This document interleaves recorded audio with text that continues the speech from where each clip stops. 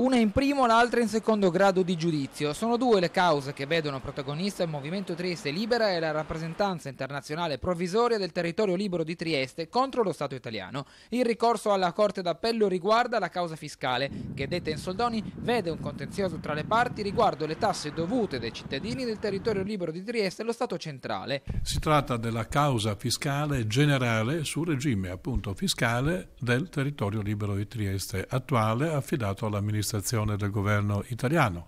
La causa afferma che si possono pagare al governo italiano amministratore le tasse compatibili col regime fiscale del territorio libero di Trieste e non le tasse dello Stato italiano.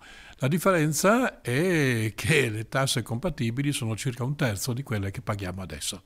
La seconda causa, martedì ore 9, Corte d'Assise, riguarda invece l'IVA. L'IVA è una tassa che si può imporre, si può applicare solamente nel territorio dello Stato e quindi della Repubblica Italiana. Il territorio libero di Trieste non fa parte della Repubblica Italiana ma è uno Stato indipendente e quindi qui noi non siamo tenuti a pagare l'IVA eh, italiana.